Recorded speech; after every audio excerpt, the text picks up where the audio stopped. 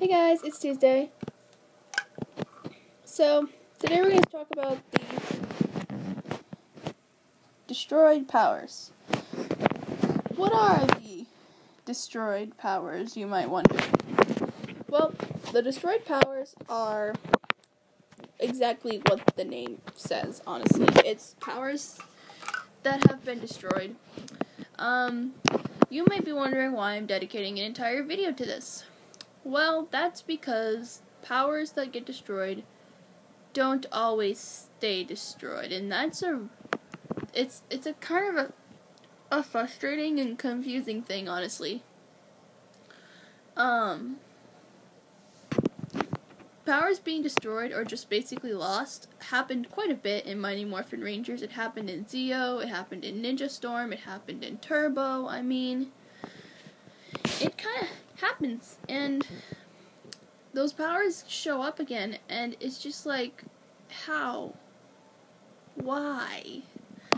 Um that's not always the case though. Like with ninja storm when they had their crossover with dino thunder um that made sense how they got their powers back. Like you saw cam hunter and blake literally jump into the abyss of evil to get their ranger powers out.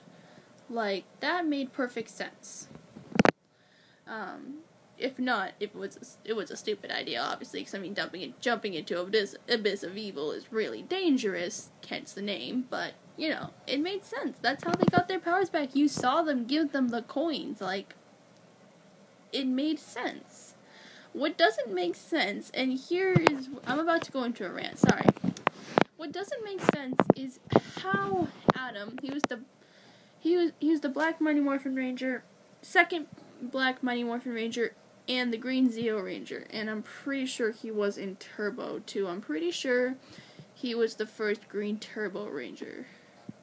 Yeah, I'm fairly certain Adam was the first Green Turbo Ranger, and it was Carlos, and then Carlos became the Black in Space Ranger. Okay, so Adam. Adam was the second Black's Black Mighty Morphin Ranger. When the Mighty Morphin powers were destroyed the first time, Adam then became the Black Ninja Ranger. Somehow they're still able to morph into their regular Mighty Morphin forms. How? I'll never. I'll just never know. Um, none of us will, will never know how that works. But then, technically, he because those powers were destroyed, they used the Zeo powers, and so now his new power is the green Zeo crystal, right? So then how come in in space when he's talking to Carlos, he has his black mighty morphin power coin with him? Like I can understand if he has it with him, but he uses it and he uses it to morph. And despite the fact that Alpha Alpha tells him, Alpha 6 tells him that it's dangerous and he could destroy himself because the powers are so weak, like weren't those powers already weak enough where you had to replace them with the Zeo Crystal, and that was literally the entire purpose of creating Power Rangers Zeo, was the fact that you needed a new power source because you couldn't use that one anymore because there was no power left? And technically, wasn't those powers already destroyed when you went to Ninjor in the first place? Like, seriously. And then, even better, it's the coin's completely burnt out. Okay, at the end of his little thing in in space. Almost ten years later, we see him in Once a Ranger in Operation Overdrive, and he's using the coin, and there is no explanation as to how it happened, how he can magically fight again as the Black Mighty Morphin Ranger, even though those that power has technically been destroyed for over 15 years now. Explanation? I think not. There is never an explanation on Power Rangers, usually. It's just go with it. And I'm pretty sure that's what the writers tell each other. Wait, there's a plot hole here, stop, go with it. I'm pretty sure that's what goes on in the writing room in, when they're writing episodes of Power Rangers. I, can, I would put money on it. It's just, it's really weird. You know? Like, if you're gonna destroy powers, have them stay destroyed. Like, don't just randomly bring them back because you screwed up the, the storyline and it doesn't match the Sentai now. Like, that's not our problem. It's yours. You're the writers. Fix it.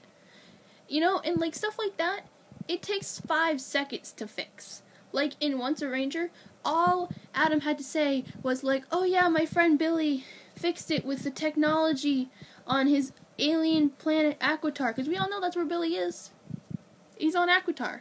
Just say, "Oh yeah, my friend Billy found a way to fix it." Found a way to fix it and give me and allow me to use these powers, maybe just for these two days. Like seriously. And then even better, in the Legendary War, when you have every Power Ranger team there, yes, that was amazing. But then you also have to consider the fact that the Mighty Morphin powers were there. Those powers were destroyed. The Zeo powers were there. The Zeo powers were also destroyed. Like, what? No, that's not. I just don't know. Like, what? The Turbo powers were also destroyed. And yet, there was a Tur- and yet there was a Turbo Rangers in Legendary War. And somehow in the crossover, Justin Morpher magically appeared out of a Zord vehicle. You see the issue I'm having? The issue I'm having is where they think we're not, they probably think we won't notice that they keep doing stuff like this, but the thing is, fans notice everything. At least I notice everything. And it's like, ugh. Guys, it's not that hard. Like, literally half of this stuff is so easy to fix. It takes like five seconds of dialogue to do it. You just have to have someone mention someone smart, and there you go. It's fixed. You know? Like, it's not even a difficult thing to do, and yet you're making it so difficult. Just explain it, and it will probably literally take you five seconds if you don't even want to get into it that much. Like, it's not difficult. Okay? Anyone could do it. Plus, aren't you all supposed to be like adults or something? Like, if you see a plot hole, don't ignore it, fix it. You should see plot holes if you're adults and you're screenwriters and you and you write scripts for a popular TV show. Like, you should know how to either work yourself out of a plot hole or how to recognize a plot hole first of all. Like, that should be thing number one is that you can recognize your a plot hole when you've got one. I don't know.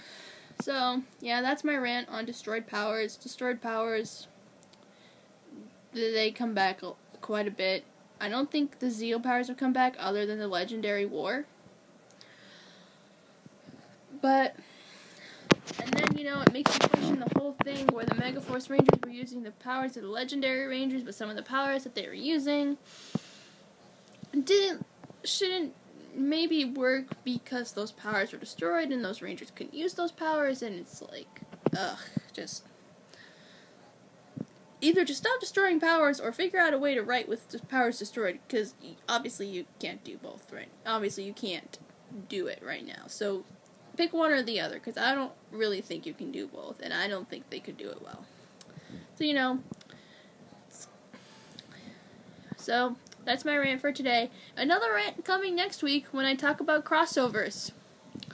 Because crossovers are amazing and yet somehow they suck at the same time, which describes Power Rangers in a nutshell.